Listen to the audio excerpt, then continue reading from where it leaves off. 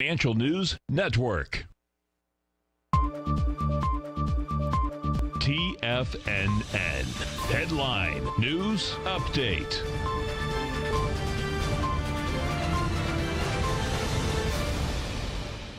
Good afternoon, everybody. I'm Tommy O'Brien coming to you live from TFNN, 1 p.m. Eastern Time on Friday. Three hours left to go in the trading day.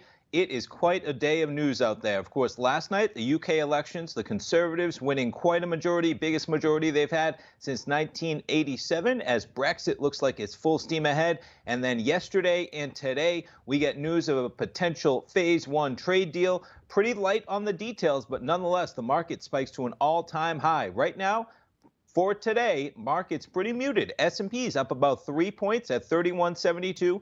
Dow Jones up 13, trading at 28,145. Nasdaq up 26 points, trading 87.44. Looking at the gold contract, up about seven dollars at 14.79. Notes and bonds getting some higher price and lower yield. The 10-year up 18 ticks at 128.30. The 30-year bond up a full point and nine ticks at 158.02.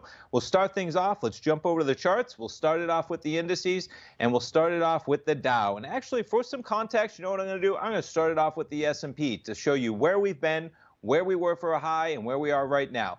Backing things up to yesterday, this is when we get the first tweet from Trump at 9:35 a.m. talking about very close to a trade trade, excuse me, very close to a phase one deal. The market trades S&Ps from about 3140 initially up to 3175. You'll pull back to 3150. Overnight, on the news that he had signed a potential deal, we make it all the way up to 3188. But this morning, we've had some volatility as the market a little bit timid on light on the details. We made it all the way back to 3160 just at 11:30 an hour and a half ago. S&Ps right now at 3175.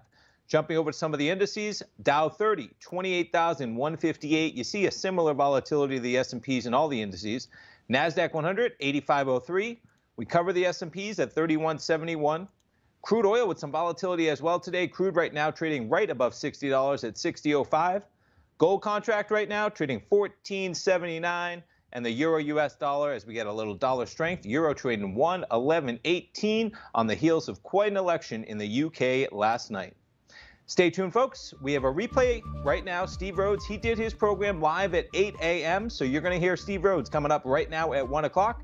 We have Dave White with the Power Trading Hour live at 2 o'clock. Tom O'Brien wraps up the trading week live at 3 o'clock. Should be an interesting three hours to finish up the trading day. Stay tuned, folks. We'll be right back.